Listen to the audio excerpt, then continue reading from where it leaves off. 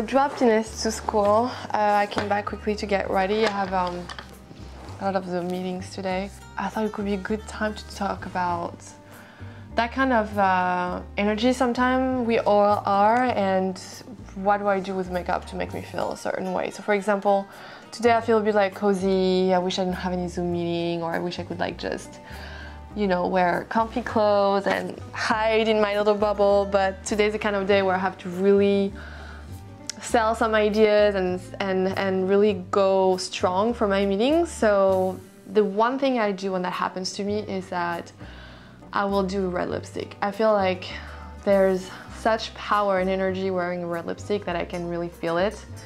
And, um, and the idea is not to send an image to somebody, to send an image of strength and power. I don't, I don't care about that. It's more what I feel.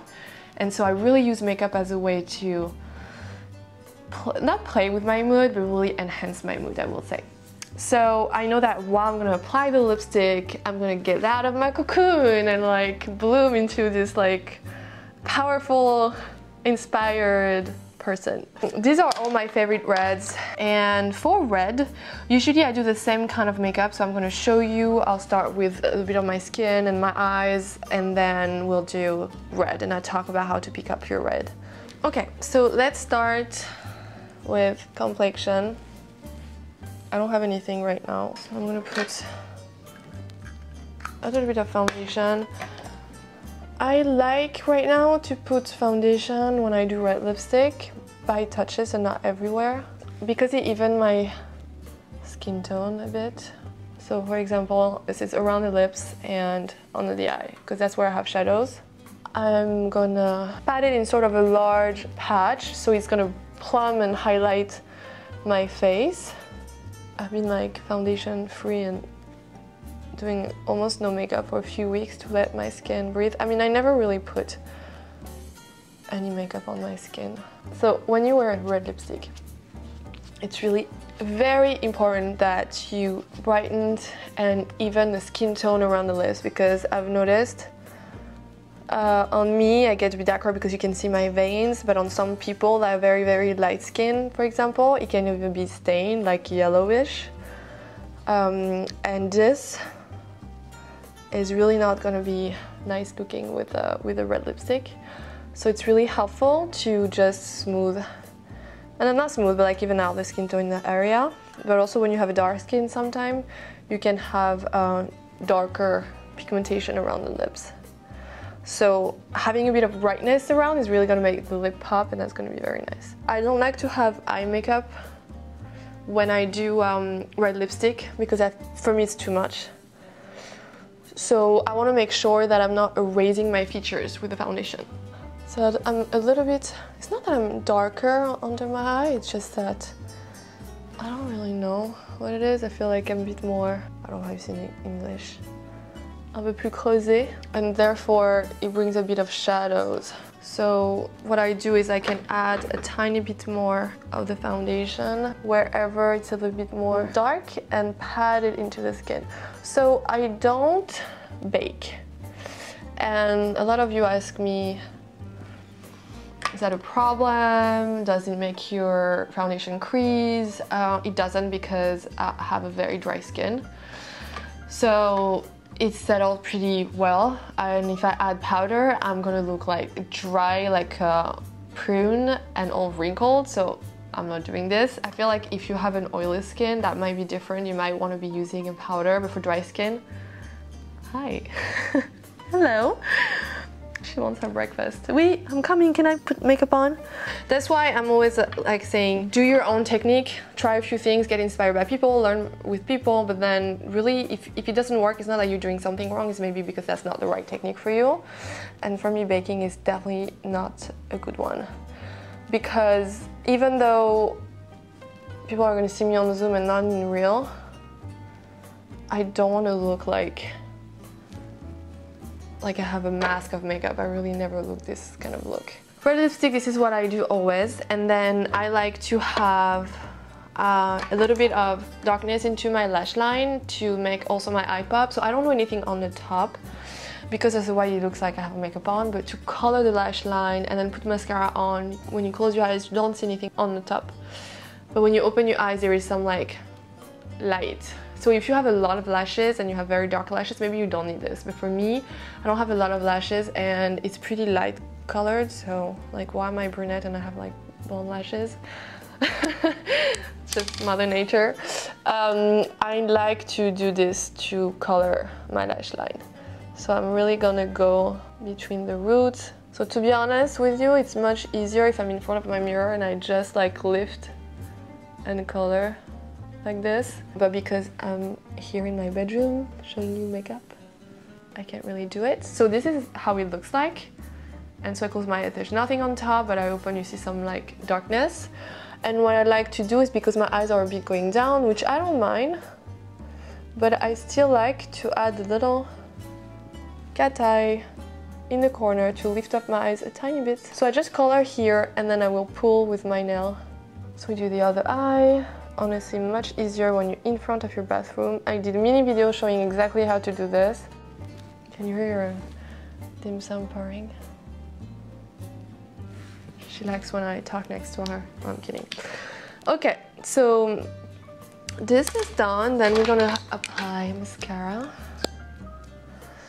So this one is pretty natural. Um, you'll see it's not a lot of cream that comes out. I mean, I don't want my eyes to be too done. So between the pencil that I just did and this like sort of natural mascara, it will be a nice balance. Okay, so top, bottom, um, looks like this.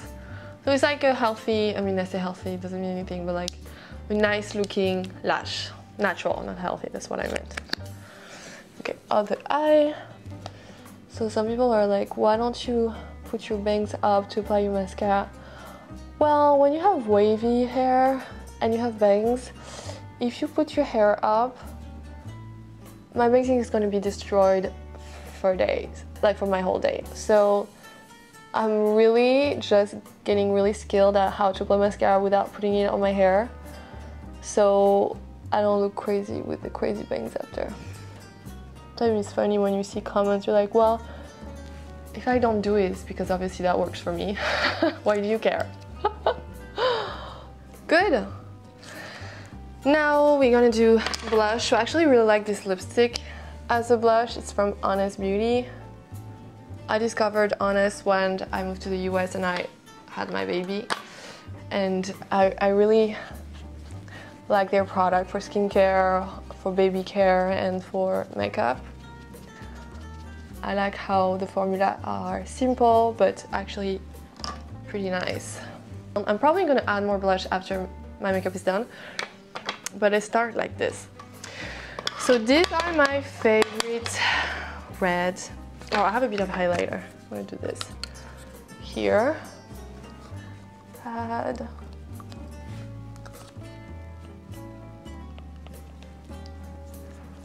And a bit on the cupid's bow. Okay, today do I want a dark red? Do I want a bright red? I think I'm gonna go with a fancy one. This one is a very vibrant one, pretty luminous. So I like to start with a V, like this. I mean, to be honest, this applicator for me is not, it's not, it's not my favorite. It's, it's, I think it's not really easy to apply it with this. Uh, I'll do a V, and then I'll just go from the outside corner and meet the top of my V. like that. And the reason why I do a V is because I always do the V a bit above my own natural pigmentation because when you do red lipstick it has a tendency to make your lips shrink a little bit and being smaller. So the reason I start with a V is because I go a little bit above my pigmentation because when you have red lipstick I feel like it's shrinking the lips which is just an optical illusion. Um, because it's darker and more bold, you make the impression that the lips are smaller. So even me, I have pretty big lips. I still do it, the V a little bit above so when I meet the corner with my top of my V, it's I'm naturally gonna um, how do you say, I'm gonna paint my lips a little bit above. So my upper lips is gonna be a tiny bit more big. So where, are you're like, where do I stop? Well, it really depends on your morphology and you, you should really, I'll talk about more, but you should really discover your face and understand your face. But for me, personally, what works is if I do really just up the pigmentation, really just above. Um, so when that's done, I'm just gonna uh, color it all and then I'm gonna perfect it. So to perfect it, you close your mouth. Voila. Okay, for the bottom lip now I'm gonna close my mouth and I'm gonna design whatever shape is nice with my upper lip. Okay, so what I do is that I start here and then for me, my pigmentation is a little bit more straight so I make it a bit more round uh, so it balance my features better and then I look everywhere and I see that here it's a bit too below, too down. That's it. So if I had to follow my own lip shape, my bottom lip will, go, will look a bit too um, flat and straight to match with the top lip. That's why it's very important that when you apply your red lipstick, you really close your mouth to design the shape and then you can color. And then again, when it's done, you look at yourself again very straight in the mirror with your mouth closed to see how it looks like. I like to massage here to have a bit less, just bring a little luminosity. Uh, so like I said, I will add a bit more blush because of the red now. So I'm gonna add it here. Voilà. That's it. So I have many techniques. I love to do an ombre. I love to massage the edge of the lips to make it more French kiss. Like I said, they feel like he, I feel like it brings some sort of romanticism and softness and tenderness to a very bold red lipstick. But today I, I want something a bit uh, fatal, femme fatale, which I don't know really what it means in English. Maybe like empowered, sort of empowered feeling. Um, so that's why I want to keep it very graphic and um, and I really I don't know I feel like my lips are dressed up um, it gives me some sort of um, it's not I'm not self-conscious of my makeup I'm gonna forget about it but somehow to feel a little bit of the lipstick on my lips it gives me some sort of you know it's like when you wear a beautiful outfit that kind of like you feel it it gives you a structure I feel like it gives me some sort of a strength for today so I hope uh, also, you guys will dare to wear red lipstick. Um, yeah, you really know, you really have to know that every woman, every man, everybody can wear red lipstick.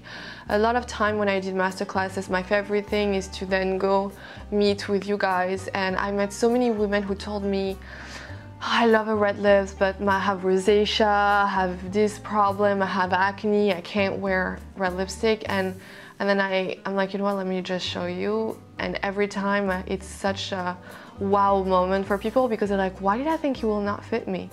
Everyone can wear red lipstick. It depends on what kind of undertone you're gonna get, you're gonna use, you're gonna have in your lipstick that you pick, and also how you do makeup on your skin. So that's something later this year I will actually, once, once we can see other people kind of show you on different skin tone, on different skin issues, on different hair color, like how we can, how I can help you find your red. But honestly, usually if you have a red that has a little blue, a little bit of yellow together, um, and it's not too bright, it can actually fit everyone. But we'll talk about this magic red, this perfect red later. So anyway, um, just don't be scared of red. Red can fit you. Red can give you power. Uh, we're gonna find out this year how you can wear it, why everybody can wear red. And I invite you guys to really use makeup, as I always say, as a way to make you feel amazing, as a, as a way to um, make you feel empowered and inspired, and not something that makes you feel like you need makeup in order to be beautiful, because we're born perfect, and makeup is just a tool to play with your mood and um, your senses almost.